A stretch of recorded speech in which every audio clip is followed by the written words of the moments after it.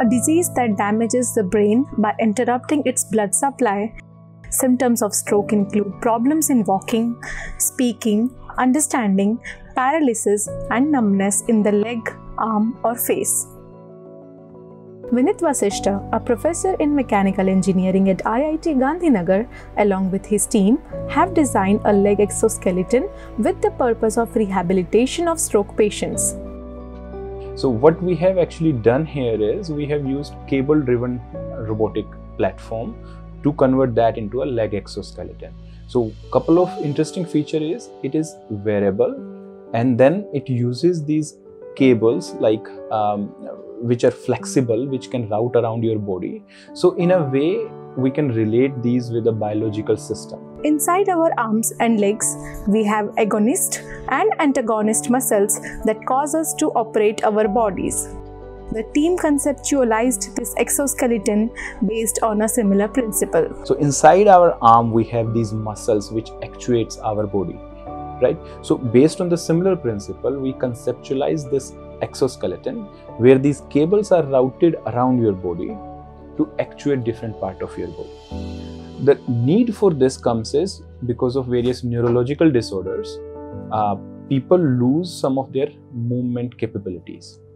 Uh, one good example is stroke patients who um, because of the stroke incident their muscle becomes weak and they are unable to walk.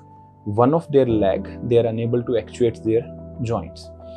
Um, for this purpose there are number of leg exoskeletons that are being made internationally as well as uh, some part in india as well.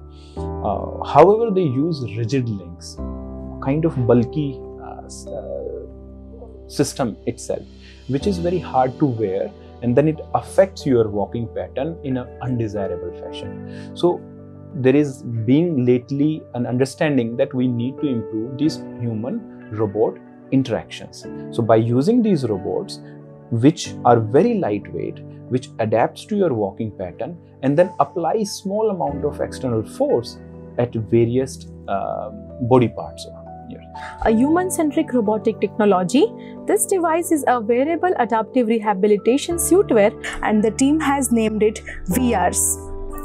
The idea here is not to create this exoskeleton with the objective to make patients dependent on it, that they will wear it and walk.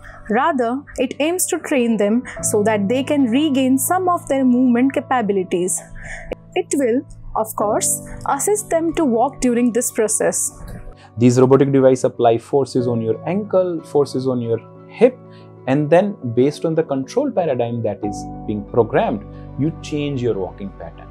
And going through this repeatedly, uh, the hypothesis is it will improve your walking pattern even over ground without the exoskeleton.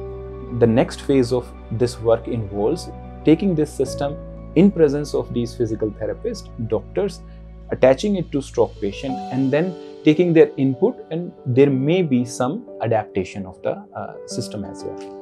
Currently, the team is in the process of developing its second and improved exoskeleton versions in terms of control logics. Equipped with a fast training system and more effective sensors, it will ensure better performance.